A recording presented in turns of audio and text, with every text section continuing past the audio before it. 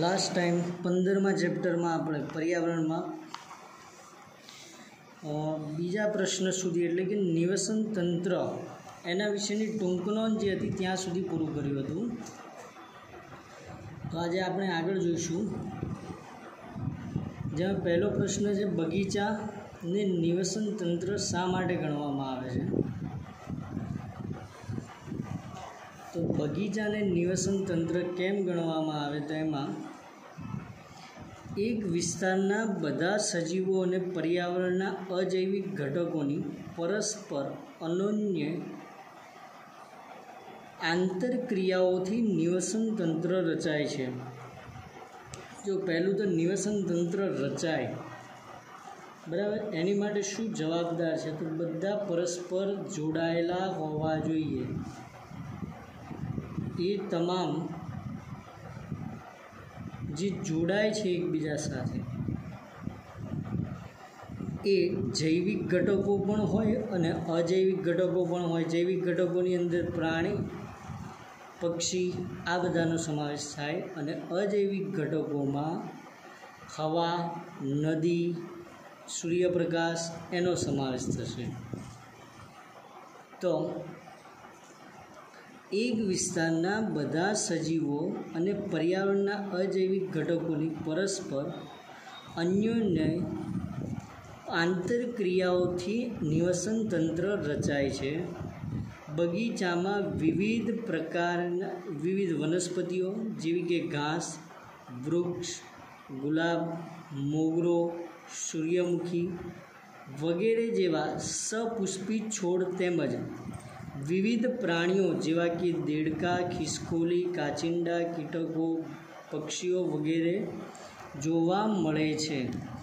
તો આપણને બગીચામાં બધું જોવા મળે. વનસ્પતિ પણ છે તથા પ્રાણીઓ પણ છે, સૂક્ષ્મજીવો સ્વરૂપે. બધા સજીવો એકબીજા સાથે સંકળાયેલા છે. તેમની વૃદ્ધિ, પ્રજનન તેમજ અન્ય ક્રિયાઓ અજૈવિક ઘટકો પ્રકાશ, પવન, પાણી, ભેજ ખનિજ દ્રવ્યો ભૂમિ વગેરે દ્વારા અસર પામે છે. બાકીની જે વૃદ્ધિ અને પ્રજનન તેમજ અન્ય ક્રિયાઓ છે એ અજૈવિક ઘટકોથી થતી હોય. તો જેની અંદર વનસ્પતિનું બીજ છે પવનમાં ઉડીને એક જગ્યાએથી બીજી જગ્યાએ જઈ શકતું હોય. બીજું પાણીમાં વહીને જઈ શકતું હોય છે. આ જે ક્રિયાઓ છે એ અજૈવિક ઘટકોથી થતી હોય. આથી બગીચાને નિવસન તંત્ર કહેવામાં આવે છે. કારણ અહીં જૈવિક અને અજૈવિક ઘટકો બંને મહત્ત્વના છે તથા બંને એટલે કે જૈવિક અને અજૈવિક ઘટકો બંને ભાગ લઈ રહ્યા છે, જે પરસ્પર એકબીજા સાથે સંકળાયેલા છે. તો બીજો પ્રશ્ન છે આગળ. નિવસન તંત્રના ઘટકો સમજાવો. બરાબર? બીજો પ્રશ્ન જે છે કે નિવસન તંત્રના ઘટકો સમજાવો. નિવસન તંત્રમાં બે ઘટકો મુખ્ય છે. એક છે અજૈવિક ઘટકો અને બીજું છે જૈવિક ઘટકો. તો નિવસન તંત્રના બધા નિર્જીવ ઘટકો અજૈવિક ઘટકોમાં સમાવિષ્ટ છે. જેટલા પણ નિર્જીવ છે, બરાબર? એ તમામને અજૈવિક કહેવાય. અજૈવિક ઘટકો તરીકે ભૌતિક ઘટકો જેવા કે તાપમાન, વરસાદ, ભેજ, પવન, ભૂમિ, પ્રકાશ, ખનિજ દ્રવ્યો વગેરેનો સમાવેશ થાય છે. હવે જેની વાત અહીંયા કરેલી છે એ તમામ જેટલા પણ ઘટકોની વાત કરીએ અહીંયા, એ બધા જ એવા છે જે ખેતી કરવા માટે આવશ્યક છે. એ સિવાય વનસ્પતિ ઉગવા માટે પણ આવશ્યક ઘટકો છે. જેમ કે જમીન ના હોય તો વનસ્પતિ ક્યાં ઉગે? બરાબર, ભૂમિ, પવન એ બીજનું વહન કરે. પ્રકાશ પ્રકાશ સંશ્લેષણની ક્રિયા માટે. ખનિજ દ્રવ્યો જે વનસ્પતિ મૂળ દ્વારા શોષે છે. બરાબર, તાપમાન, અનુકૂળ તાપમાન હોવું જોઈએ. પછી વરસાદ એ પણ મળવો જરૂરી છે. અને ભેજ તો હવામાં રહેલો ભેજ પણ ખૂબ મહત્ત્વનો હોય છે. એ સિવાય જૈવિક ઘટકો જેની વાત કરી. તો આ જૈવિક, અજૈવિક ઘટકો હતા જે જૈવિક ઘટકો માટે જરૂરી હતું. તો જૈવિક ઘટકો નિવસન તંત્રના બધા સજીવો જૈવિક ઘટકોમાં સમાવિષ્ટ છે કારણ કે બધા સજીવો જૈવિક ક્રિયા કરે છે. એટલા માટે બધા સજીવોને જૈવિક કહેવાય. સજીવોના તેમની ખોરાક અથવા પોષણ મેળવવાની પદ્ધતિને આધારે ત્રણ ભાગમાં વહેંચવામાં આવ્યા. પહેલો ભાગ છે ઉત્પાદકો. બીજો ભાગ છે ઉપભોગીઓ. અને ત્રીજો ભાગ છે વિઘટકો. આ ત્રણ ભાગના સમૂહ છે. હવે જો ઉત્પાદક છે, શું કરે છે? એ પોતે ઉર્જાનું ઉત્પાદન કરે. ઉપભોગી એ ઉત્પાદક ઉપર આધાર રાખે. અને વિઘટકો છે એ ઉપભોગી ઉપર આધાર રાખતા હોય. તો પહેલો ભાગ જે એનો છે, એ છે ઉત્પાદક. એટલે ઉત્પાદકો એટલે. તો અહીં આગળ આપણે જોઈ શકીએ છીએ કે ઉત્પાદકો છે જે, એની બાજુમાં જ તમને વૃક્ષનું ચિત્ર આપેલું છે. બરાબર? તો ઉત્પાદકો એટલે આ સજીવ સૂર્યપ્રકાશ તેમજ ક્લોરોફિલની હાજરીમાં અકાર્બનિક પદાર્થોમાંથી શર્કરા અને સ્ટાર્ચ જેવા કાર્બનિક પદાર્થોનું નિર્માણ કરે, સંયોજનોનું નિર્માણ કરે. હવે સૂર્યપ્રકાશ તેમજ ક્લોરોફિલની હાજરીમાં તમને આગળ એક વીડિયો મોકલેલો હતો, પ્રકાશ સંશ્લેષણની ક્રિયા સમજાવતો આખો બરાબર? એ વીડિયો ઉપરથી તમે જાણી શકો છો કે સૂર્યપ્રકાશ તેમજ ક્લોરોફિલની હાજરી અકાર્બનિક પદાર્થોમાંથી જે શર્કરા અને સ્ટાર્ચ જેવા કાર્બનિક સંયોજનોનું નિર્માણ જે થાય છે, કેવી રીતે થતું હોય છે? કેટલાક પ્રકાશ સંશ્લેષી બેક્ટેરિયા વિવિધ પ્રકારની લીલ અને બધી જ લીલી વનસ્પતિ. આ જેની વાત કરી છે, બધા ઉત્પાદકો છે. મતલબ આ બધા જ પોતાનો ખોરાક જાતે બનાવે છે. બરાબર? આ જેની વાત કરી છે, બધા જ પ્રકાશ સંશ્લેષણની ક્રિયા કરે છે. જેટલા પણ ઉદાહરણ આપેલા છે તે બધા જ.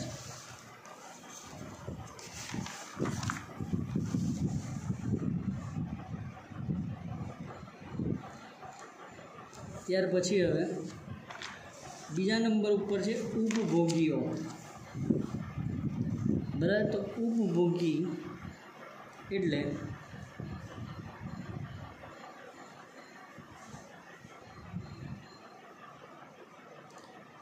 જે સજીવો ઉત્પાદકો દ્વારા ઉત્પાદિત થયેલા ખોરાક પર પ્રત્યક્ષ અથવા પરોક્ષ રીતે આધારિત હોય, તેમને ઉપભોગીઓ કે ઉપભોક્તા કહે છે.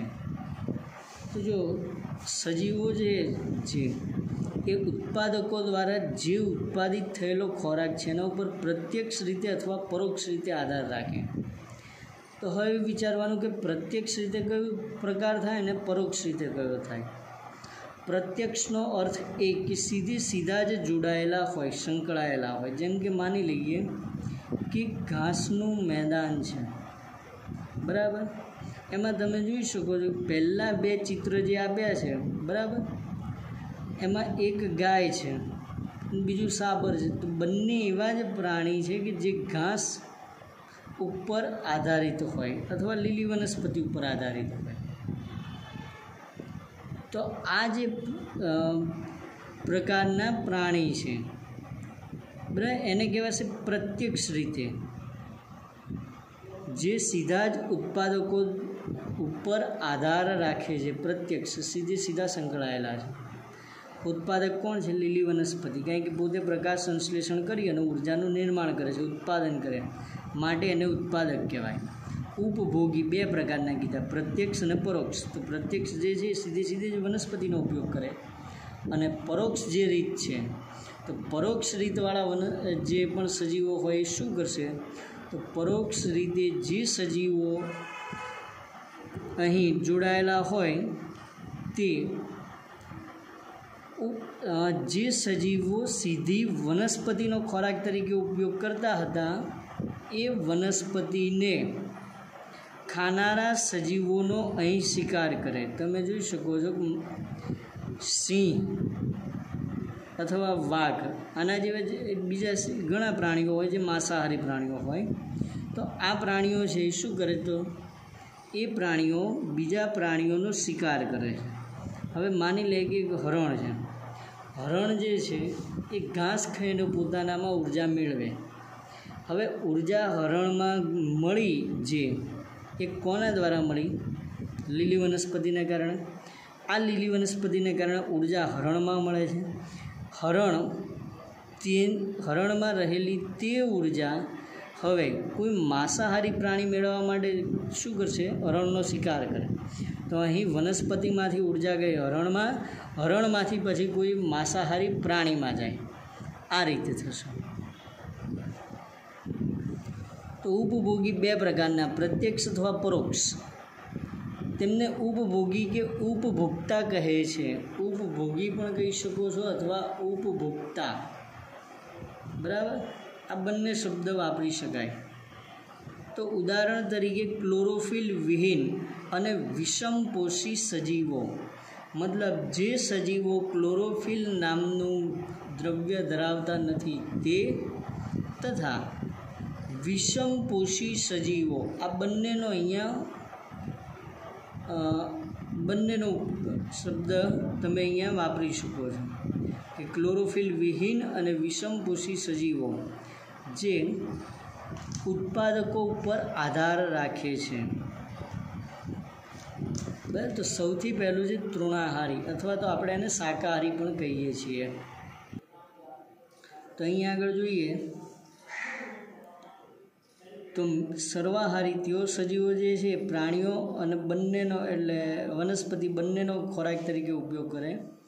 જેમાં મનુષ્ય અને વંદો આ બંને તમને અહીંયા એના ઉદાહરણ આપેલા છે. તો જો સૌથી પહેલેથી જોઈએ તો તૃણાહારી શાકાહારી જે હતા, એ શાકાહારી સજીવોમાં. અહીં આગળ જોઈએ છે કે આપણે પ્રથમ જે ક્રમ છે, બરાબર? પ્રથમ ક્રમના ઉપભોગી. તો પ્રથમ ક્રમના ઉપભોગીનો અર્થ થયો પહેલું સ્તર એનો. તો એ શું કરે છે? ડાયરેક્ટ લીલી વનસ્પતિનો ઉપયોગ કરશે ખોરાક તરીકે. બરાબર? એના તમને અહીંયા ચિત્ર સ્વરૂપે પણ દર્શાવેલું છે કયા પ્રાણીઓ હોઈ શકે. તો ગાય છે અને હરણ છે. સેકન્ડ વસ્તુ કે હવે અહીંયા આગળ જો લીલી વનસ્પતિએ શું કર્યું? પ્રકાશ સંશ્લેષણથી ખોરાક બનાવી દીધો. આ જે ખોરાક હતો એ વનસ્પતિનામાં છે એટલે વનસ્પતિ ઊર્જા ધરાવે છે. આ ઊર્જા હવે પહેલું મેળવશે તૃણાહારી પ્રાણી. એટલે ગાય છે, હરણ છે. બીજા નંબર ઉપર આવશે માંસાહારી. તો માંસાહારી પ્રાણી છે, એ શું કરશે? માંસાહારી પ્રાણી પહેલાં તો તૃણાહારી પ્રાણીઓનો શિકાર કરે. બરાબર? અને એમાંથી ઊર્જા મેળવી લે. આ તૃણાહારી પ્રાણીઓનો શિકાર કરી અને જે માંસાહારી પ્રાણી ઊર્જા મેળવે છે, એ માંસાહારી પ્રાણીનો પણ એનાથી ઉચ્ચ કક્ષાના માંસાહારી પ્રાણીઓ એનો શિકાર કરી અને ઊર્જા મેળવે છે. તો આવી રીતે અહીંયા ઉર્જાનું વહન થયું. વનસ્પતિ, વનસ્પતિથી તૃણાહારી, તૃણાહારીથી માંસાહારી, માંસાહારીથી ઉચ્ચ કક્ષાના માંસાહારીમાં જશે. ત્યાર પછી સર્વાહારી. તો વનસ્પતિ અને પ્રાણી બંનેનો ખોરાક તરીકે ઉપયોગ કરી રહ્યા છે. દાખલા તરીકે એનું ઉદાહરણ આપેલું છે મનુષ્ય અને વંદો. આ બંને. ત્યાર પછી છેલ્લા નંબર ઉપર આવશે પરોપજીવી. અહીંયા આગળ ઉપભોગીની અંદર. બરાબર?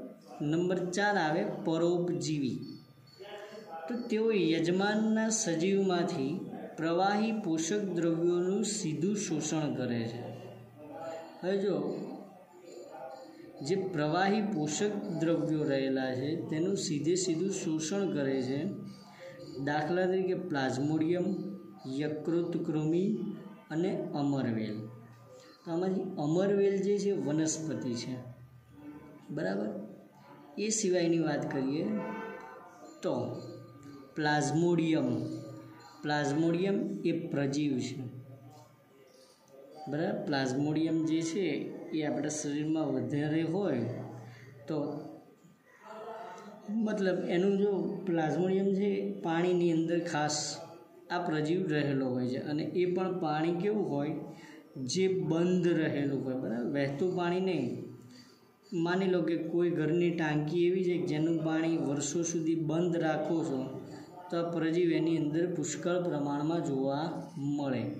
આ પ્લાઝ્મોડિયમ પ્રજીવ આપણા શરીર માટે હાનિકારક છે. બરાબર? બીજા નંબર ઉપર યકૃત કૃમિ કીધું છે. એટલે યકૃતમાં આ કૃમિ જોવા મળી શકે છે. ત્યાર પછી અમરવેલ. તો આ જે વસ્તુ ત્રણેયની વાત કરીએ, એ ત્રણેય એવા છે કે જે તે સજીવમાં હોય ત્યારે એ સજીવ દ્વારા પોષણ મેળવે છે.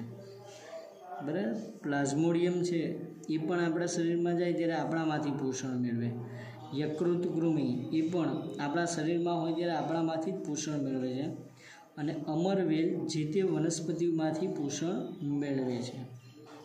ત્યાર પછીનો નંબર છે, ત્રણ ઉપર છે, વિઘટકો. જો પહેલું હતું ઉત્પાદક. બરાબર? પહેલું ઉત્પાદક હતું. બીજા નંબર ઉપર છે ઉપભોગીઓ. અને હવે નંબર ત્રણ ઉપર આવે વિઘટકો. તો જટિલ કાર્બનિક પદાર્થોનું સરળ અકાર્બનિક પદાર્થોમાં વિઘટન કરતા સજીવને વિઘટકો કહે છે. જો અહીંયા શું કરે છે? કાર્બનિક પદાર્થને અકાર્બનિક બનાવે. મતલબ કાર્બન છૂટો પડવાની ક્રિયા. આને કહેવાય વિઘટન. બીજું કંઈ નથી. જટિલ કાર્બનિક પદાર્થો. હવે જે અહીંયા પદાર્થો જે સરળ સ્વરૂપ નથી આપ્યું અહીં એવું કીધું છે કે એ પદાર્થનું સ્વરૂપ જટિલ છે. બરાબર? તો આ જટિલ જે કાર્બનિક પદાર્થ છે, એને સરળ એટલે એનું બંધારણ જે જટિલ હતું, એ જટિલના બદલે સરળ બનાવે તથા કાર્બનિક છે એને અકાર્બનિકમાં ફેરવે છે. આ જે ક્રિયા છે એને વિઘટન કહેવાય છે અને વિઘટન કરતા સજીવોને વિઘટકો કહે છે. ઉદાહરણ આપેલા છે કેટલાક જીવાણુ, એટલે કે બેક્ટેરિયા અને ફૂગ. મૃત જૈવ અવશેષો અને ઉત્સર્ગ દ્રવ્યોનું વિઘટન. વિઘટનને અહીંયા બીજું પણ એક શબ્દ આપ્યો છે જેને કીધું અપમાર્જન. કરે છે. બરાબર અહીંયા આગળ વિઘટન થયું. તો કેટલાક જીવાણુ એટલે બેક્ટેરિયા અને ફૂગ મૃત જૈવ અવશેષો સડતા તથા મૃત થયેલા પદાર્થો પર સજીવોના ઉત્સર્ગ દ્રવ્યોનું નક્કામા પદાર્થોનું વિઘટન કરે છે. ત્યાર પછી છે, નંબર ચાર, આહાર, શૃંખલા અને પોષક સ્તરો. સમજાવો. તો જો આહાર, શૃંખલા અને પોષક સ્તરો જે વિશે, એના વિશેની જે સમજણ આપવાનું કીધું છે, એમાં સૌથી મહત્ત્વનું કે આહાર, શૃંખલા સમજાવો. એવો પણ પ્રશ્ન આવી શકે. આ જે પ્રશ્નો છે, એ મોટા પ્રશ્નો રહેશે આ ચેપ્ટરમાંથી. તો પહેલો અહીંયા આગળ પોઈન્ટ આવે છે કે આહાર શૃંખલા માટે નિવસન તંત્રના સજીવ તેમની ખોરાક જરૂરિયાત માટે પરસ્પર એકબીજા પર આધાર રાખે છે.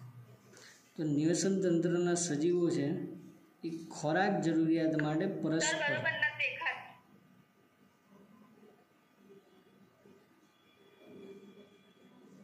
વીડિયો આવતીકાલે યુટ્યુબમાં આવે એ વખત ચેક કરી લેવું.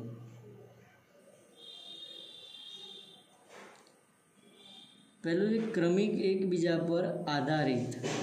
નિવસન તંત્રના સજીવો તેમની ખોરાક જરૂરિયાત માટે પરસ્પર એકબીજા પર આધાર રાખે છે. તો નિવસન તંત્રના સજીવો જે છે, એ ખોરાક જરૂરિયાત માટે પરસ્પર એકબીજા ઉપર કેવી રીતે આધાર રાખે તો જો એમાં પહેલું છે કે નિવસન તંત્રમાં રહેલા ખો, જે ઘટકો છે, એ ઘટકો કયા હોય? સજીવોની અંદર. જેમ આપણે અહીંયા આગળ જ એક વખત વાત કરી, અહીંયા તમને અમરવેલની વાત આવી. જો ઘણા સજીવો એવા હોય કે જે પરસ્પર એકબીજા ઉપર આધાર રાખતા હોય, એમાં કેવી રીતે થતું હોય? તો ઘણી ફૂગ અને વનસ્પતિ એકબીજા ઉપર આધાર રાખી પરસ્પર સંકળાયેલી હોય. મતલબ ફૂગ છે એ વનસ્પતિને નાઇટ્રોજન એના સ્વરૂપમાં ફેરવી આપે, બેક્ટેરિયા હોય છે અમુક. જે નાઇટ્રોજનનો ઉપયોગ કરી શકાય એવા સ્વરૂપમાં નાઇટ્રોજનને ફેરવીને આપે. તો વનસ્પતિ એને રહેઠાણ પૂરું પાડે અને ખોરાક આપે. આ બંને એકબીજા પર આધારિત થયું. તો આવા કેટલાય સજીવો હોય જે ખોરાક જરૂરિયાત માટે પરસ્પર એટલે કે એકબીજા ઉપર આધાર રાખે. ક્રમિક રીતે એકબીજા પર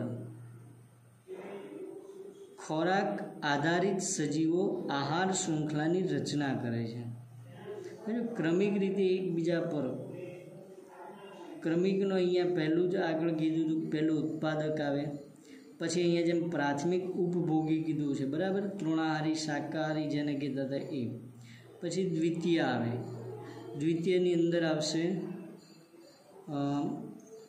માંસાહારી પ્રાણીઓ. પછી તૃતીય આવે. એનાથી ઉચ્ચ કક્ષાના માંસાહારી પ્રાણી.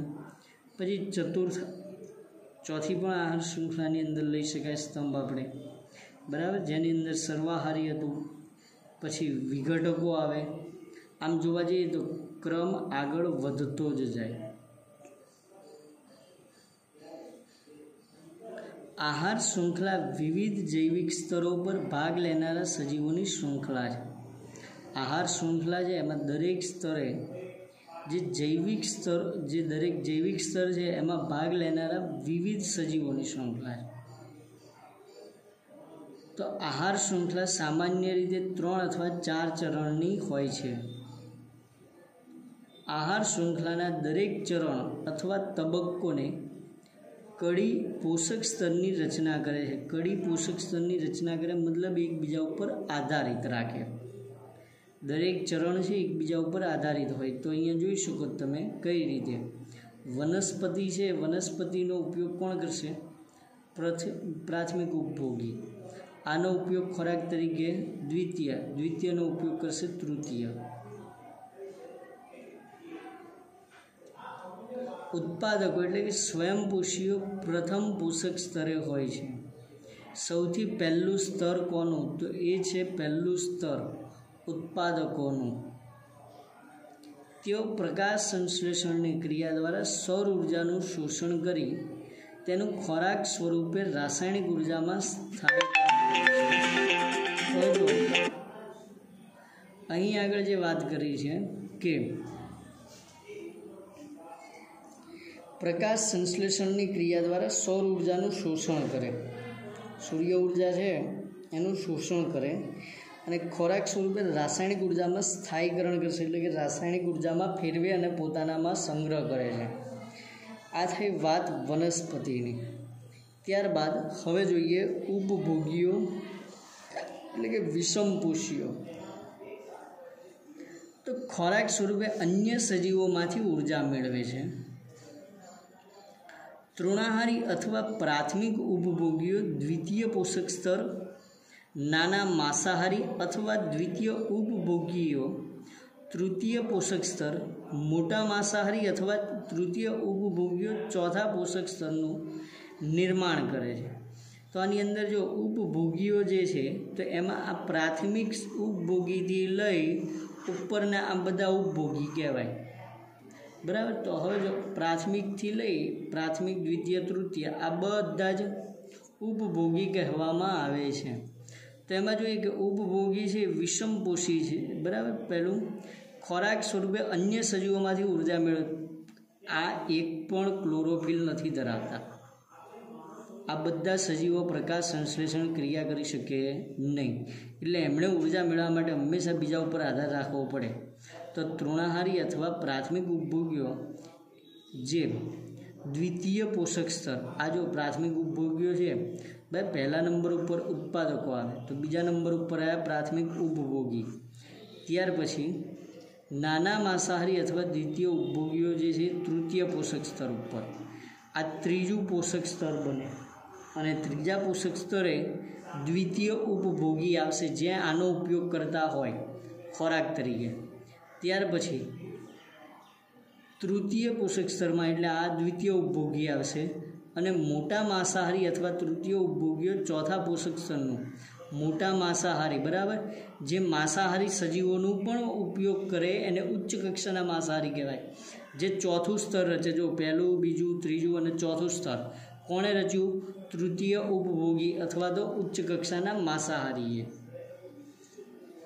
ત્યાર પછી છે નિવસન તંત્રમાં ઉર્જાના પ્રવાહ અથવા ઉર્જાનું વહન સમજાવો. એ પહેલાં જુઓ, અહીંયા આગળ તમને ઉપર એક ચિત્ર આપેલું છે. આ ઉપરના ચિત્ર, ચાર્ટની જ વાત કરીએ. તો એમાં જો રેડ કલરથી અહીંયા એક એરો આપેલો છે. હંમેશા ઉપર તરફ બતાવે છે. આ રેડ એરો હંમેશા ઉપર તરફ જાય છે. એ શું દર્શાવે? તો કે વનસ્પતિમાંથી ઊર્જા તૃણાહારી મેળવે.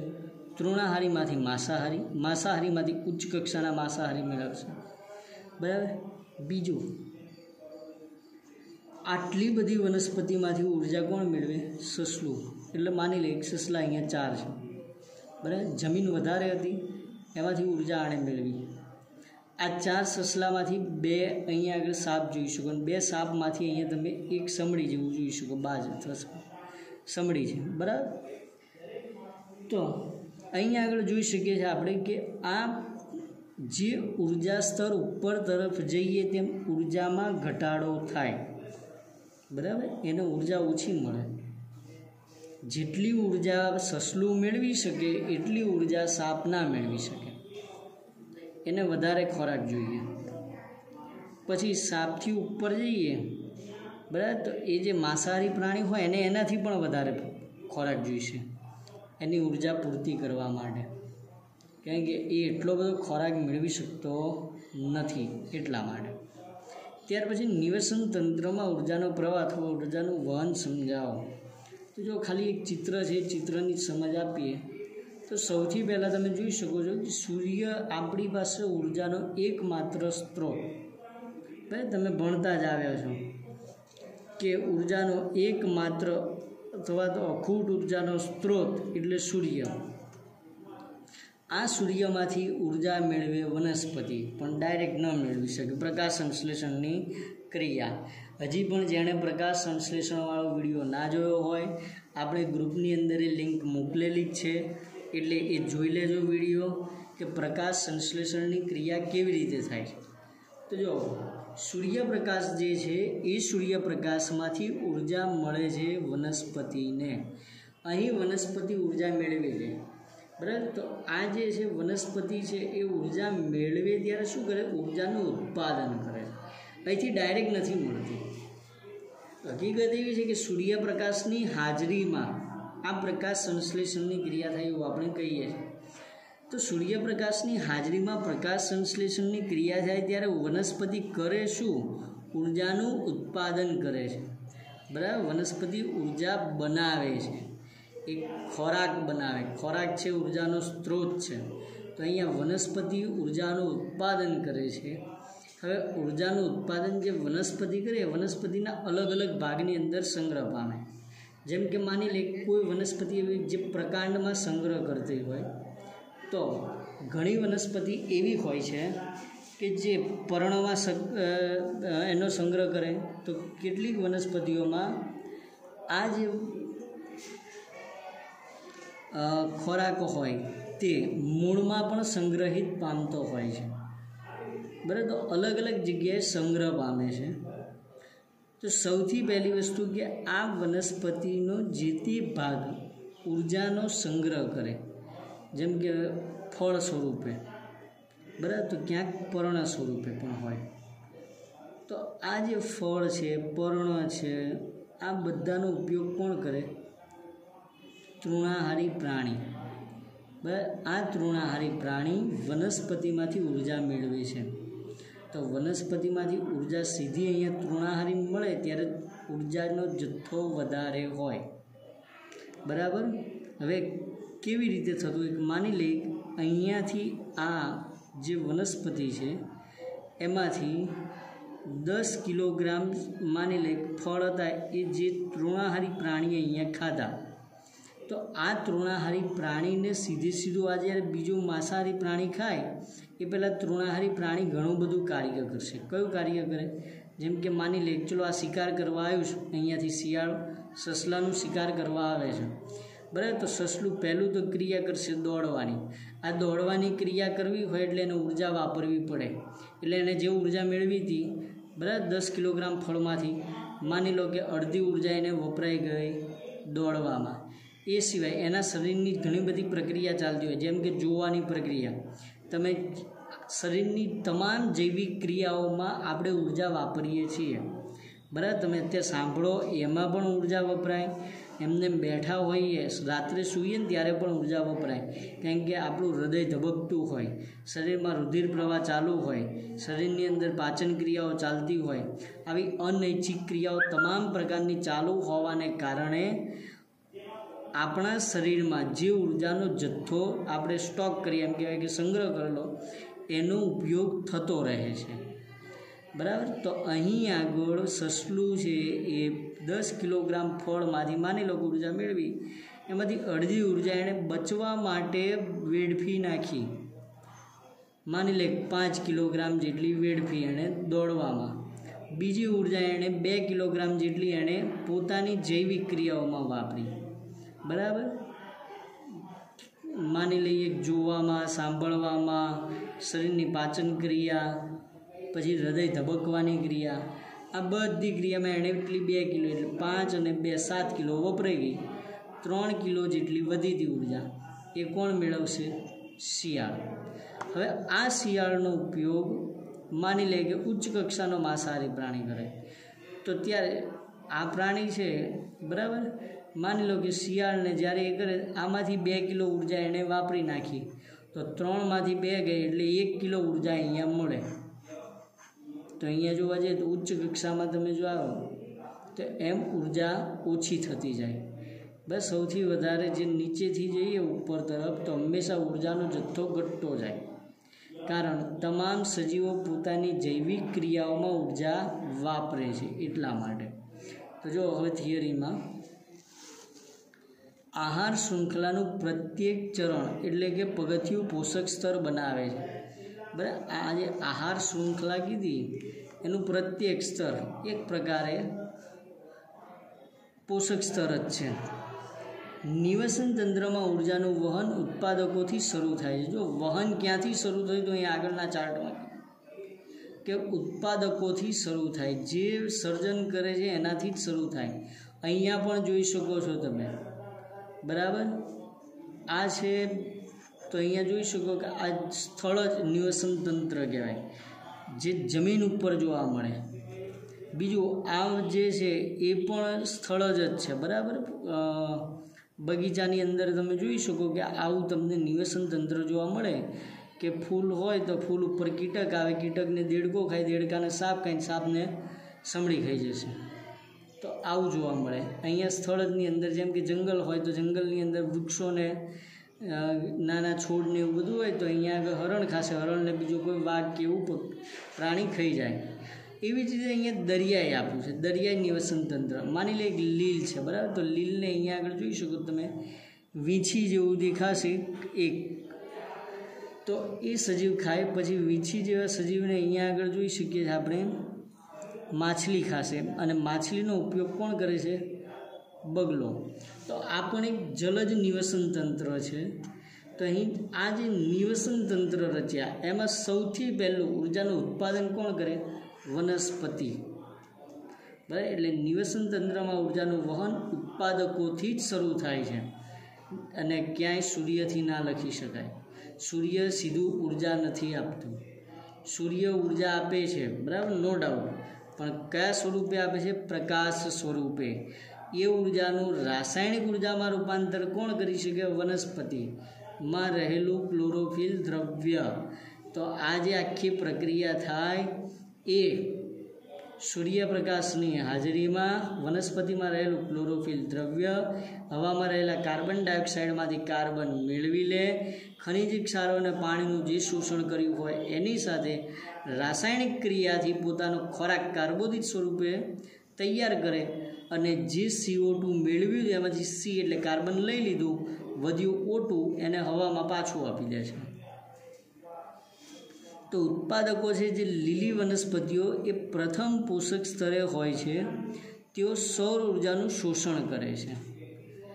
જો વનસ્પતિ છે સૂર્ય ઉર્જાનું શોષણ કરે અને પ્રકાશ સંશ્લેષણ દ્વારા ખોરાક સ્વરૂપે રાસાયણિક ઉર્જાનું રૂપાંતરણ કરે છે.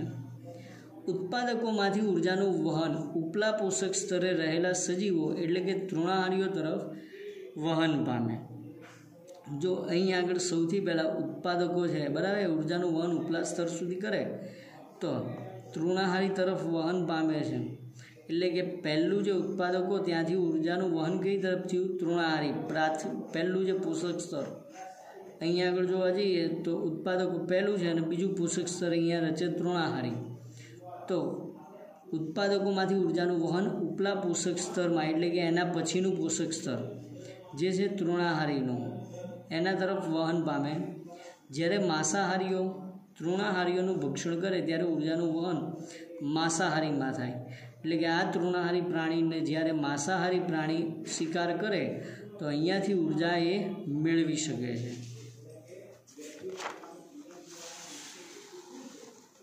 ત્યાર પછી, આમ ઉર્જાનું વહન ઉત્પાદકોથી વિવિધ સ્તરના ઉપભોગી તરફ થાય, તેથી નિવસન તંત્રમાં સૌર ઉર્જાના પ્રવેશ દ્વાર તરીકે ઉત્પાદકો એટલે લીલી વનસ્પતિ છે. અને તેઓ ઉપભોગીઓ માટે ઉર્જાનો સ્ત્રોત બને છે. લીલી વનસ્પતિ ઉત્પાદક છે એટલે કે ક્લોરોફિલ સિવાયના તમામ સજીવો માટે ઉર્જાનો સ્ત્રોત ફક્ત વનસ્પતિ જ છે. બરાબર, આપણને એમ થાય માંસાહારી પ્રાણી થોડું કોઈ વનસ્પતિ ખાય, પરંતુ માંસાહારી પ્રાણી કોને ખાશે? જે પ્રાણી વનસ્પતિ ખાય છે એને જ ખાવાનું છે. એટલે વનસ્પતિમાંથી ઊર્જા મેળવે તૃણાહારી, તૃણાહારીમાંથી મેળવશે માંસાહારી. તો રાસાયણિક ઊર્જા સમગ્ર જીવસૃષ્ટિના સજીવ સમુદાયની બધી ક્રિયાઓનું સંપાદન કરવામાં મદદરૂપ છે. આજે રાસાયણિક ઊર્જા છે ના બની હોત તો? તમામ સજીવ સૃષ્ટિ છે, એનું અસ્તિત્વ ક્યાંનું જોખમાઈ ગયું હોય? નિવસન તંત્રમાં ઉર્જાનું વહન હંમેશા એક માર્ગી હોય છે. જો ઊર્જા હંમેશા એક જ માર્ગે જાય, કેવી રીતે?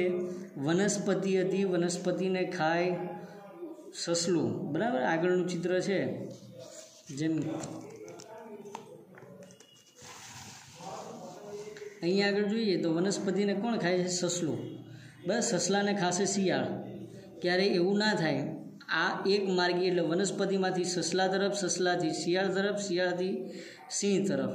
બરાબર આ એક માર્ગ થયો. આ માર્ગ ઊંધો ના થાય. મતલબ સિંહને શિયાળ ખાય, શિયાળને સસલું ખાય. સસલામાંથી વનસ્પતિ મેળવે એવું શક્ય નથી. બરાબર? આ માર્ગ જ ચાલે. આ તો સિમ્પલ છે. તમે સરળતાથી સમજી શકો છો કે ક્યારેય સસલું શિયાળ પાછળ પડી શિયાળનો શિકાર ના કરે. બસ શિયાળ ક્યારે સિંહનો શિકાર કરવા ના જાય. એટલે આ તો તમને બધાને ખબર છે. તો હંમેશા એક માર્ગી હોય છે. ઉત્પાદકો, પછી પ્રાથમિક, એટલે પ્રાથમિક ઉપભોગી, દ્વિતીય ઉપભોગી અને તૃતીય ઉપભોગી. એ તરફનું વહન હોય. તો એના વિશે આગળ સમજૂતી આપી છે કે લીલી વનસ્પતિઓમાં જકડાયેલી સૌર ઊર્જા પુનઃ સૂર્ય તરફ પાછી જઈ શકતી નથી. જે ઊર્જા તૃણાહારી તરફ વહન પામે તે પુનઃ ઉત્પાદકો તરફ પાછી આવી શકતી નથી. માની લઈએ કે અહીંયા આગળ તમને એક ચિત્ર આપેલું. બરાબર? અહીંયા આગળ જોઈએ એક વનસ્પતિ છે. વનસ્પતિમાંથી અહીંયા આગળ ચલો કોઈ બીજો પ્રાણી કે એવું અહીંયા બકરી લઈ લઈએ, ચલો. કે આ વનસ્પતિનો ઉપયોગ કરીને બકરીએ ઊર્જા મેળવી. તો બકરીમાંથી વનસ્પતિ તરફ ના આવી શકે. બરાબર? એટલે શું કીધું? પ્રાથમિક ઉપભોગી જે ઊર્જા મેળવે છે તૃણાહારી તરફ વહન પામે, બરાબર? એ પુનઃ ઉત્પાદકો તરફ પાછી ફરતી નથી. પોષક સ્તરમાં ઉર્જાનું વહન દરમિયાન ઉર્જાનો કેટલોક જથ્થો બિનઉપયોગી ઉર્જાના સ્વરૂપે વ્યય પામે છે અને તેનો ઉપયોગ કરી શકાતો નથી. અમુક જથ્થો એવો હોય જે બિનઉપયોગી સ્વરૂપે વ્યય પામે. હંમેશા એટલું યાદ રાખવાનું, ઉર્જાનું એક સ્વરૂપમાંથી બીજા સ્વરૂપમાં રૂપાંતર કરવામાં ત્યારે ઉર્જાનો વ્યય થતો હોય.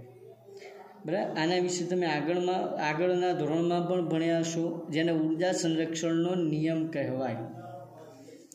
તો પોષક સ્તરમાં ઉર્જાના વહન દરમિયાન ઉર્જાનો કેટલોક જથ્થો જે છે એ બિનઉપયોગી ઉર્જાના સ્વરૂપમાં વ્યય પામે છે. તેનો પુનઃ ઉપયોગ કરી શકાતો નથી એટલે કે ફરીથી ઉપયોગ થઈ શકે નહીં. આમ વિવિધ પોષક સ્તરમાં ક્રમશઃ વહન પામતી ઊર્જા પુનઃ એટલે ફરીથી નીચલા પોષક સ્તરે પ્રાપ્ત થઈ શકતી નથી. એટલે કે ક્રમ ઉલટો ના હોય. બરાબર? સિંહને શિયાળ મારે, શિયાળને સસલું મારે એવું બને નહીં. પછી આના પછીનો જે પ્રશ્ન છે, એના વિશે હમણાં આપણે વાત કરી હતી, એના વિશેનો જ છે, જેને આપણે નેક્સ્ટ ટાઈમ લઈશું. બરાબર? તો આટલા સુધી રાખીએ જે લેફ્ટ થઈ શકો છો.